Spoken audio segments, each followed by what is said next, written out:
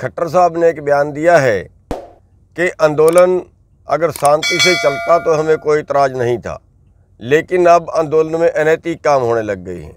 अब आंदोलन में औरतों से छेड़छाड़ होने लग गई है। पता नहीं क्या क्या अनाप शनाप बोल रहे हैं। लेकिन हम बता देना चाहते हैं कि इससे बड़ा और क्या सबूत होगा कि सात महीने से आंदोलन शांतिपूर्वक चल रहा है।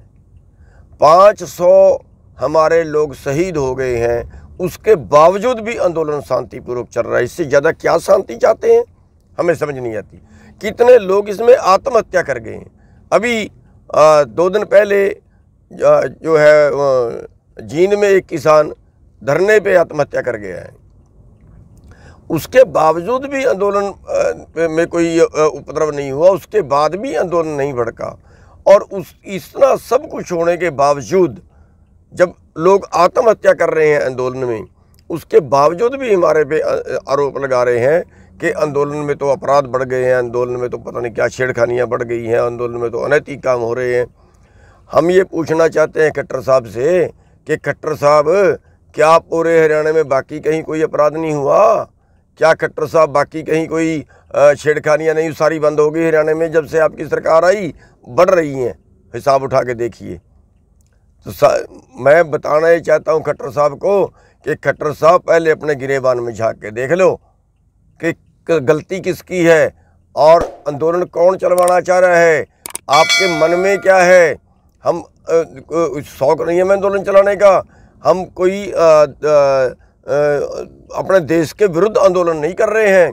हम इसी देश के नागरिक हैं और आप इसी देश के नागरिकों के नुमाइंदे हो। और आप जिस तरीके से, जिस तरीके से बीजेपी कंपनियों को देश को बेचना चाह रही है ना, उसको रोकने के लिए 500 किसान अभी तक धरनों पे शहीद हो गए हैं। तो उनको, वो तो आपको नज़र नहीं आए। वो इतने शांति से चलता आंदोलन आपको नज़र नहीं आया। आपके लोगों ने आके गुंडागर्दियाँ की वो आपको नज़र नहीं आई।